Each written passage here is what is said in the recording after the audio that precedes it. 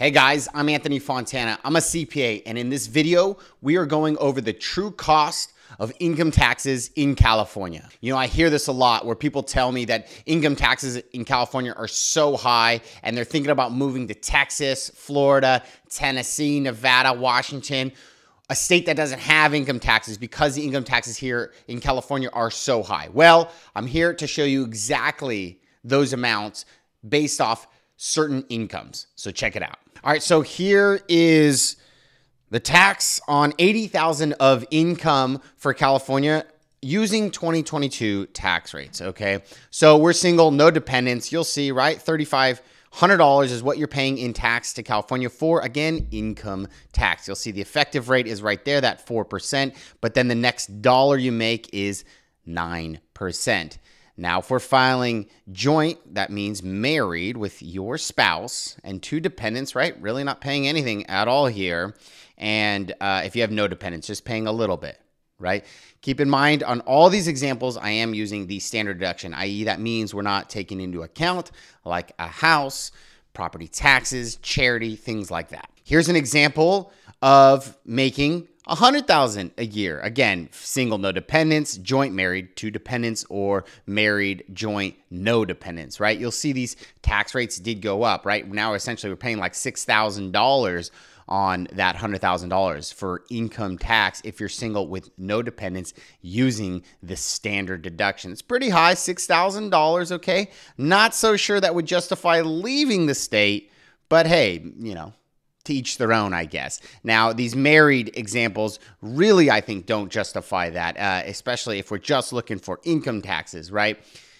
One and a half percent, three percent tax that we're paying here, it's pretty low. Now, as you're going to see, as the income jumps, right, it now makes a little bit more sense. Making 200,000 of income, right? Single no dependents, you're paying $14,000 for the year in 2022 for just income tax in California. Again, these are the married examples. They are less, right? But now they're starting to be a little more significant. You'll see again, income goes up to 400,000.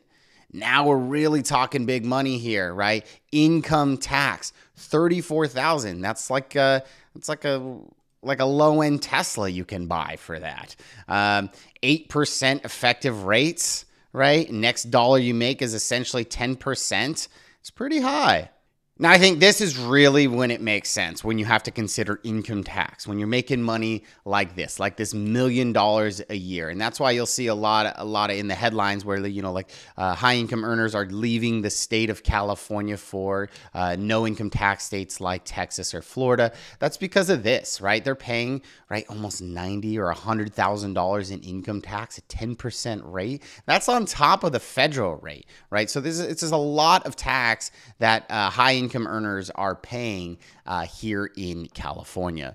But again, this is for the million dollar mark. Now, if you're uh, an average Joe Schmo making around 100,000 or 80,000, right, it's not nearly as bad, especially if we're married with some kids here. So um, keep this in mind. It's not that high.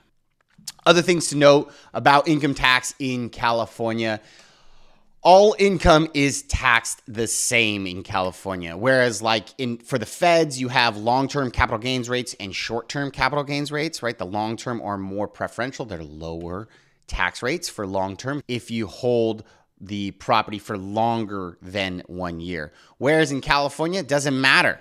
Capital gains, long-term, short-term, it's taxed the same as your wages, uh, self-employment income, retirement income. It's all taxed the same.